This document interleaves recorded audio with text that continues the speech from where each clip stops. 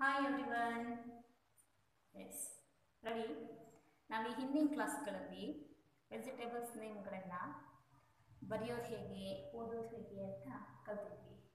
ಇವತ್ತು ನಾವು ಏನು ಕಲಿಯೋಣ? ಫ್ರೂಟ್ಸ್ ನೇಮ್ಗಳನ್ನು ಬರೆಯೋದು ಹೇಗೆ? How to write in fruits name with joint letters okay ನಾವು ಪ್ರತಿನಿತ್ಯ ಹೇಳ್ತಾ ಇರ್ತೀವಿ. ಎಲ್ಲರೂ ಎಲ್ಲ ಕ್ಲಾಸ್ಗಳಲ್ಲೂ ಹೇಳ್ತಾ ಇರ್ತೀವಿ. ಪ್ರತಿಯೊಂದನ್ನು ಬರೆಯುವಾಗ ಯಾವುದೇ ಸಬ್ಜೆಕ್ಟನ್ನು ಸಹ ನಾವು ಬರೆಯುವಾಗ ಏನು ಮಾಡಬೇಕು? ಹೇಳ್ತಾ ಹೇಳ್ತಾ ಬರಿಬೇಕು. ನಾವು ಹೇಳ್ತಾ ಬರೆಯೋದ್ರಿಂದ ನಮಗೆ ನೆನಪಿನ ಶಕ್ತಿ ಸಹ ಜಾಸ್ತಿ ಆಗುತ್ತೆ. ಅಕ್ಷರಗಳನ್ನ ಗುರುತಿಸ್ಲಿಕ್ಕೆ ನಮಗೆ ಈಸಿಯಾಗಿ ಬರುತ್ತೆ. ನಾವು ಯಾವುದೇ ಲೆಟರ್ಸನ್ನು ಬರೆದ್ರು ಸಹ ಹೇಳ್ತಾ ಬರಬೇಕು. ಎಸ್ ರೆಡಿನಾ ಓಕೆ ಫ್ರೂಟ್ಸ್ ಫ್ರೂಟ್ಸ್ ಅಂದ್ರೆ ಏನು? ನಮಗೆಲ್ಲ ಗೊತ್ತಿದೆ. ಫ್ರೂಟ್ಸ್ ಅಂದ್ರೆ ಏನು? ಹಣ್ಣುಗಳು. ನಮಗೆಲ್ಲ ಹಣ್ಣು ತಿಂತೀವಿ. ಹಣ್ಣು ಇಷ್ಟ? ಯಾವಾಗ ತಿಂತೀವಿ? ನಾವೆಲ್ಲರೂ ಪ್ರತಿದಿನ ಊಟ ಆದಮೇಲೆ ಹಣ್ಣು ತಿಂತೀವಿ. ಸ್ಕೂಲ್ ಲಂಚ್ ಬಾಕ್ಸ್ ಅಂತ ಅದರಲ್ಲೇ ನಾವು ಅಮ್ಮ ಸ್ವಲ್ಪನಾದ್ರೂ ಫ್ರೂಟ್ಸನ್ನು ಇಟ್ಟು ಕಳಿಸಿರ್ತಾರೆ ಮತ್ತೆ ಮತ್ತೆ ಇಟ್ಟು ಕಳ್ಸಿರ್ತಾರೆ ಕೆಲವೊಬ್ಬರೆಲ್ಲ ಜ್ಯೂಸ್ ತರ್ತಾರೆ. ಬಾಟ್ಲಲ್ಲಿ ಹಾಕೊಂಡು ಬಾಕ್ಸಲ್ಲಿ ಹಾಕೊಂಡೆಲ್ಲ ಕೆಲವೊಬ್ರು ಜ್ಯೂಸು ಸಹ ತರ್ತಾರೆ. ಓಕೆ ಇವತ್ತು ನಾವೇನು ಕಲಿಯೋಣ ಹಾಗಿದ್ರೆ ಫ್ರೂಟ್ಸ್ ನೇಮ್ಗಳನ್ನು ಬರೆಯೋದು ಹೇಗೆ ಅಂತ ಕಲಿಯೋಣ. S first one letter capital letter ನೀವು ಅಬ್ಸರ್ವ್ ಮಾಡ್ಬೋದು. ನಾನು ರೆಡ್ ಲೈನ್ ಮತ್ತೆ ಬ್ಲೂ ಲೈನ್ಗಳನ್ನು ಸಹ ಹಾಕಿದ್ದೀನಿ. ಫಸ್ಟ್ ಒಂದು ಲೆಟರ್ ನಾನು ಬರೆಯುವಾಗ red line blue line blue line three ಲೈನಿಗೆ ಸೇರೋ ಹಾಗೆ ನೀಟಾಗಿ ತ್ರೀ ಲೈನಲ್ಲೇ ಬರ್ತೀನಿ ಓಕೆ ಯಾಮ ನೋಡಿ, ಈ ಲೆಟರ್ಸಿಗೆ ಏನಾಗಿದೆ ಬಾಲಗಳು ಬಂದಿದೆ. ಯಾಕೆ? ನಾವು ಬರೀತಿರೋದು ಏನೀಗ? ವಿತ್ ಜಾಯಿಂಟ್ ಲೆಟರ್ಸ್ ಅಲ್ಲಿ.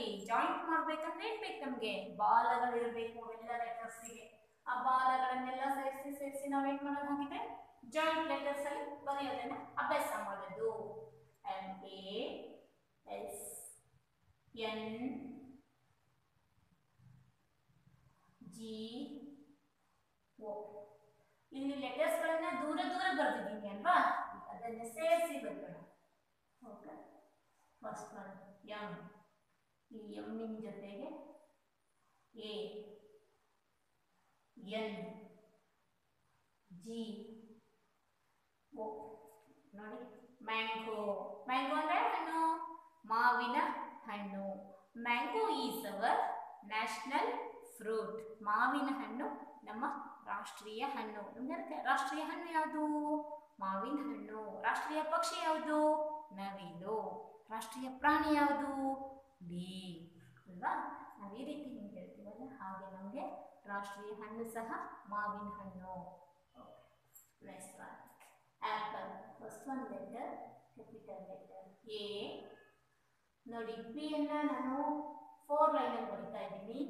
ಪಿಗೆ ಇಲ್ಲೂ ಬಾಲ ಬಂದಿದೆ ಇಲ್ಲೂ ಸ್ವಲ್ಪ ಬಾಲ ಥರ ಬಂದಿದೆ ನೋಡಿ ಪಿ ಎಲ್ ನೆಕ್ಸ್ಟ್ ನೋಡ್ರಿ ಲೆಟರ್ಸ್ ಸ್ಮಾಲ್ ಲೆಟರ್ಸ್ಗಳಿಗೆಲ್ಲ ಹಿಂಗೆ ಬಾಲ ಥರ ಬಂದಿದೆ ಅಲ್ವಾ ಇವುಗಳನ್ನೇ ಸೇರಿಸ್ತಾ ಹೋಗೋದು. First one letter capital letter okay ನೋಡಿ A P P L E ನಮಗೆ ಪ್ರಾಕ್ಟೀಸ್ ಮಾಡ್ತಾ ಹೋದರೆ, ಹೇಳ್ತಾ ಹೇಳ್ತಾ ಬರಿ ಬರೆದ್ರೆ ನಮಗೆ ಬರೀಲಿಕ್ಕೆ ಏನಾಗುತ್ತೆ? ಈಸಿಯಾಗಿ ಬರುತ್ತೆ A P P L E apple apple ಅಂದರೆ ಏನು ಸೇಬು ಹಣ್ಣು ಎಸ್ ನಾವು ಬರೆಯುವಾಗ ಪ್ರತಿ ಸರಿ ಹೇಳ್ತಾನೆ ದುಂಡು ನೀಟಾಗಿ ಬರೆಯೋದನ್ನು ಅಭ್ಯಾಸ ಮಾಡಬೇಕು. Next first one letter capital letter P A P A Y A ನೋಡಿ ಎಲ್ಲ ಲೆಟರ್ಸ್ಗಳಿಗೂ ಏನು ಬಂದಿದೆ ಕೊಂಬುಗಳು ಬಂದಿದೆ. ನಾನು ಅದನ್ನೇ ಏನು ಮಾಡೋದು ಹಾಗಿದ್ರೆ ಸೇರಿಸಿ ಬರೆಯೋದನ್ನು ಟ್ರೈ ಮಾಡೋದು. Okay first one letter P P ನೋಡಿ P A P A Y A ಈಸಿಯಾಗಿ ಬರೆಯೋದು papaya. P A P A Y A papaya. Papaya ಅಂದರೆ ಪಪ್ಪಾಯ ಅಂತಲೇ ಹೇಳ್ತೀವಿ. ಅಥವಾ ಅದನ್ನು ಇನ್ನೂ ಒಂದು ಕಡೆ ಹೇಳ್ತಾರೆ ನಮ್ಮ ಮನೆಗಳಲ್ಲಿ. ಅಕ್ಕ ತಂಗಿಯರ ಹೆಣ್ಣು ಅಂತ ಸಹ ಹೇಳ್ತಾರೆ. Next first letter capital letter J A C. ನೋಡಿ ಕೆ ಹೇಗೆ ಬರೆಯೋದು ಅಂತ. Jack. J C K jack next fruit jackfruit ನಾನು ಎಫ್ ಬರೆಯುವಾಗ ಹೇಗೆ ಬರ್ತಿದ್ದೀನಿ ಫೋರ್ ಲೈನಲ್ಲಿ F O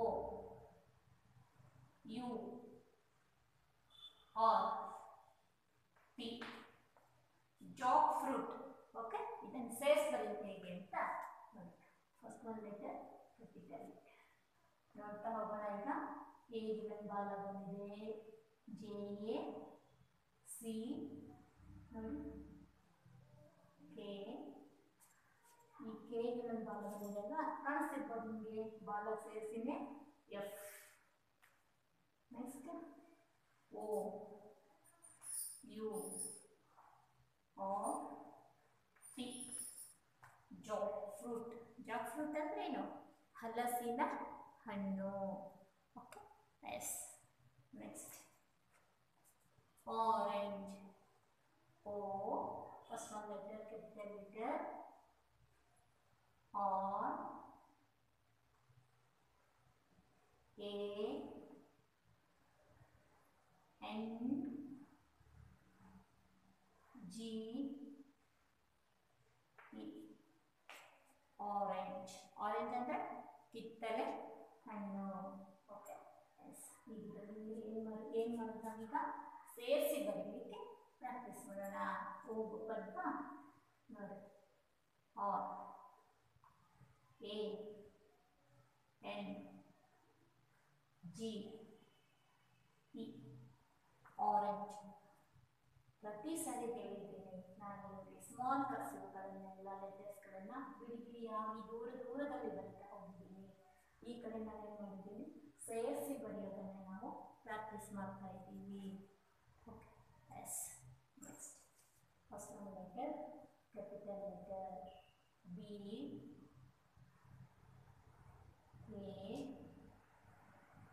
N A N A banana okay yes next ನೋಡಿ ಎ ಎಗೆ ನನ್ನ ಕೊಂಬ್ ಬಂದಿದೆ ಸೇರಿಸಿನೇ N B A N A N A banana banana ಅಂದರೆ ಬಾಳೆಹಣ್ಣು ನಾವು ಇದೇ ರೀತಿ ಪ್ರತಿಯೊಂದು ಅಕ್ಷರಗಳನ್ನು ಲೆಟರ್ಸ್ಗಳನ್ನು ನಾವು ಏನು ಬರಿತೀವಲ್ಲ, ಬರೆಯುವಾಗ ನಾವೇನು ಮಾಡಬೇಕು?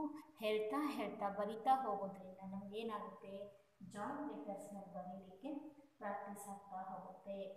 ಓಕೆ ನೆಕ್ಸ್ಟ್ ನಾವು ಇದೆಲ್ಲ ಇನ್ನೊಂದು ಸಲ ಓದೋದನ್ನು ಸಹ ಪ್ರಾಕ್ಟೀಸ್ ಮಾಡೋಣ. ನಾವು ಏನು ಬರಿತೀವಿ ಅದನ್ನು ಹತ್ತು ಸರಿ ಓದೋದನ್ನು ಪ್ರಾಕ್ಟೀಸ್ ಮಾಡಬೇಕು. Okay M A N G O mango mango ಅಂದ್ರೆ ಏನು? ಮಾವಿನ ಹಣ್ಣು. ನೋಡ್ರಿ, ನಾವು ಇದನ್ನ ಕನ್ನಡದಲ್ಲಿ ಸಹ ಬರೆಯೋಣ. ಓಕೆ ಮಾವಿನ ಹಣ್ಣು. ನಮಗೆಲ್ಲ ಕನ್ನಡದಲ್ಲೂ ಸಹ ನಾವು ಬರೆಯುವಾಗ ಮಧ್ಯದ ಎರಡು ಲೈನ್ಗಳಲ್ಲಿ ನಾವು ಬರಿತಾ ಹೋಗಬೇಕು. ಟೂ ಲೈನ್ ನೋಟ್ಸಲ್ಲಿ ಕನ್ನಡನ ಬರಿತಾ ಹೋದರೆ ಕನ್ನಡದಲ್ಲೂ ಸಹ ನಿಮಗೆ ಲೆಟರ್ಸು, ಅಕ್ಷರಗಳು ತುಂಬ ಚೆನ್ನಾಗಿ ಕಾಣಿಸ್ತವೆ. Okay next A P P L E apple apple ಅಂದರೆ ಯಾವ ಹಣ್ಣು ಸೇಬು, ಹಣ್ಣು.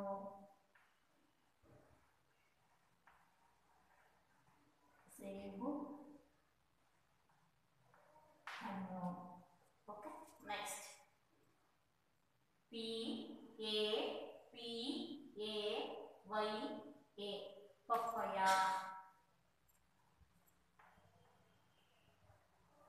ಪ ನಾವಿಲ್ಲಿ ಯಾವುದೇ ಅಕ್ಷರಗಳನ್ನು ಬಗ್ಗೆ ಸಹ ನಾವೇನು ಮಾಡಬೇಕು. ಹೇಳ್ತಾ ಹೇಳ್ತಾ ಬರೀಬೇಕು. Papaya. Yes next J A C A F O U R P jackfruit jackfruit ಅಂದರೆ ಯಾವ ಹಣ್ಣು ಹಲಸಿನ ಹಣ್ಣು ಯಾವ ಹಣ್ಣು ಹಲಸಿನ ಹಣ್ಣು yes next O R A N G E orange orange ಅಂದರೆ ಯಾವ ಹಣ್ಣು ಕಿತ್ತಲೆ ಹಣ್ಣು. ಆರೆಂಜ್ ಅಂದ್ರೆ ಕಿತ್ತಲೆ ಹಣ್ಣು. ಹಣ್ಣುಗಳನ್ನು ಪ್ರತಿನಿತ್ಯ ತಿನ್ನೋದ್ರಿಂದ ನೀವು ತುಂಬ ಚೆನ್ನಾಗಾಗ್ತೀರಾ. ತುಂಬ ಚೆನ್ನಾಗಿ ಗಟ್ಟಿ ಆಗ್ತೀರಾ. ಶಕ್ತಿ ಬರುತ್ತೆ. ಓಕೆ ಆರೆಂಜ್ ಅಂದರೆ ಕಿತ್ತಳೆ ಹಣ್ಣು. ಈಗೆಲ್ಲ ಚಳಿಗಾಲದಲ್ಲಿ ತುಂಬ ಆರೆಂಜ್ಗಳು ಸಿಗ್ತಾ ಇದೆ. ಕಿತ್ತಳೆ ಹಣ್ಣು ಸಿಗ್ತಾ ಇದೆ. ಆ ಕಿತ್ತಳೆ ಹಣ್ಣನ್ನು ನಾವೇನು ಮಾಡ್ತೀವಿ? ಜ್ಯೂಸ್ ಮಾಡ್ಕೊಂಡು ಕುಡಿತೀವಿ ತುಂಬ ಇಷ್ಟ. Next B A N A N A banana banana ಅಂದರೆ ಬಾಳೆಹಣ್ಣು. ಬಾಳೆಹಣ್ಣು ತಿನ್ನೋದ್ರಿಂದ ಏನಾಗುತ್ತೆ ಅಂತ ಹೇಳಿದ್ದೆ. ಹೇಳಿ ನೋಡೋಣ. ಬಾಳೆಹಣ್ಣು ತಿನ್ನೋದ್ರಿಂದ ಏನಾಗುತ್ತೆ? ಓ, ನಾವು ದಪ್ಪ ಆಗ್ತೀವಿ. ಶಕ್ತಿ ಬರುತ್ತೆ. ತುಂಬ ಶಕ್ತಿವಂತರ ದಪ್ಪ ದಪ್ಪ ಚೆನ್ನಾಗಿರ್ತೀವಿ. ಶಕ್ತಿ ಬರುತ್ತೆ. ಬಾಳೆಹಣ್ಣನ್ನ ಪ್ರತಿನಿತ್ಯ ತಿನ್ನಬೇಕು ನಾವು ಊಟ ಮಾಡಿರುವಂತಹ ಪೂರ್ತಿ ಊಟ ಸಹ ಏನಾಗುತ್ತೆ? ಜೀರ್ಣ ಆಗುತ್ತೆ ಡೈಷನ್ ಆಗುತ್ತೆ. ಹಾಗಾಗಿ ನಾವೇನು ಮಾಡಬೇಕು? ಹಣ್ಣುಗಳನ್ನು ಪ್ರತಿನಿತ್ಯ ಉಪಯೋಗಿಸ್ಕೋಬೇಕು. ಓಕೆ ನಾವೀಗ ಕೆಲವೊಂದು ಫ್ರೂಟ್ಸ್ ನೇಮ್ಗಳನ್ನು ಬಿಡಿ ಬಿಡಿಯಾಗಿ ಬರೆದಿದ್ದೀವಿ.